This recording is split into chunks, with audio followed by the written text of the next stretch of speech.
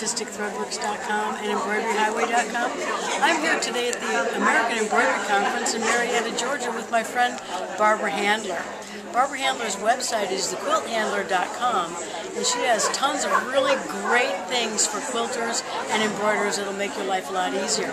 But I'd like her to show you this new product that I just was introduced to called Texture Magic. It's a really cool product and it'll be great for your embroidery and quilting and I want Barbara to tell you something about it so that you know all about it when you order it from her. Thank you, Holly. This is a Texture Magic by Superior and it is um, here, I can show you.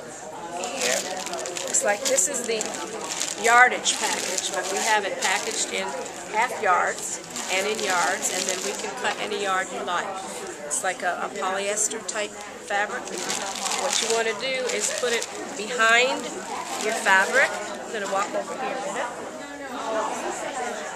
You want to put it behind your, your fabric, and then you can stipple, free motion, do an embroidery design, take a design off of your machine, and stitch them together. Then you apply steam. It's not the heat that does it, it's the steam. So you want to use either a steamer or use the steam part of your iron. And just hover over the top of it, it will draw up 30% in all directions. You do get a sheet inside, so you don't have to do the math. You get a sheet inside that will tell you, for instance, if you want a 15 inch square, then you start with 19 inches. It's going to draw up, and it's really fun to watch it draw up. It's just a very, very fun thing to do. And we have a line of patterns. It almost looks like smocking, but much more easily done. And what your, de your design will come out to be depends on what stitch you've used. So for instance here, this almost looks like roses. And here we have little girl's dress where we just did some stippling. Little hat, bloomers. And this is part of the heirloom set, this little bonnet and these little booties. I don't have the dress made yet, but it really will look like smocking here another little girl's hat, a little bit bigger size than that, and a pocket purse, and here's another. This is one of our best sellers over here. This is the Serenity purse. This was just done with a straight and little zigzag decorative stitch, whereas this was done with a grid. You can see where I've done a diagonal and then straight. Here we have meandering. Here we have something that almost looks like the little biscuits done in a grid.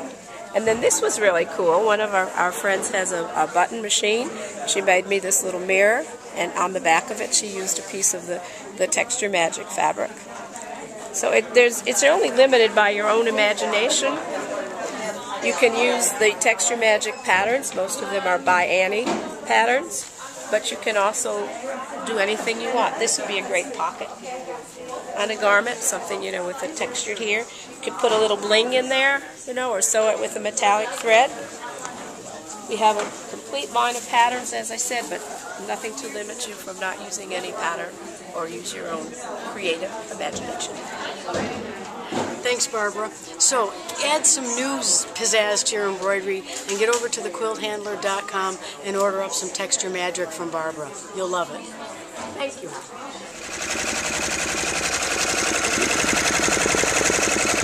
If you liked this video, you can get more for free at my website at www.embroideryhighway.com.